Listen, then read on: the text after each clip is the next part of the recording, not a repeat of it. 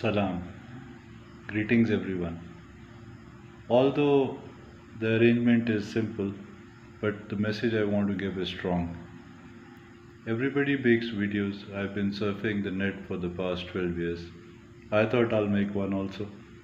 But this time, with a heavy heart, the message is rather different.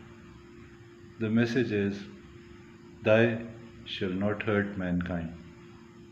Thy shall not hurt mankind. This is true in every religion. May that be Judaism, may that be Christianity, may that be Islam. In all of them, it's the same. Do not hurt mankind. And my request to all the leaders of the world, because social media is strong and everybody listens to everyone, my message to the leaders of the world is where is humanity today? Humanity, which in the 1980s or the 90s, people used to say that the Western society has picked up the good parts, the good habits of the Muslims. And it proved to be right. Free medicine, education for all, security, women's security, most of all, which is respected in Islam a lot, and so many other things. But slowly it all diminished. And now it has diminished to the extent that you guys are diggers drawn.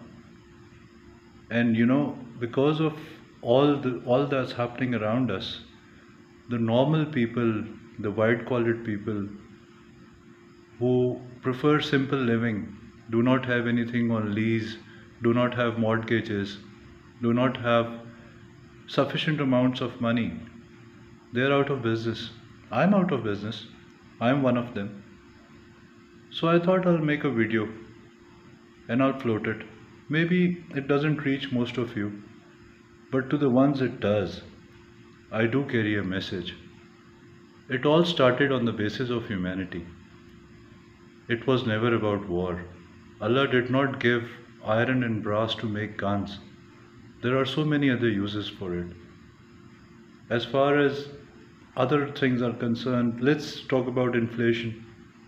If you talk about inflation, I've been mining for the past 12 years. I'm in the mining, I was in the mining business. When we scale a mountain and we take out copper or any other mineral, quartz for example, marble, the mountain doesn't tell us to go deposit $1 million in Bank of America and then come back to me and I'll give you what you want. The mountain is free. It doesn't charge you. No, it doesn't. And so is true for so many other things. The water we drink, it's free. The fruits which grow on trees are also free. The grounds which you cultivate for different kinds of things, wheat and so what, so on and so forth, they come out of the ground free.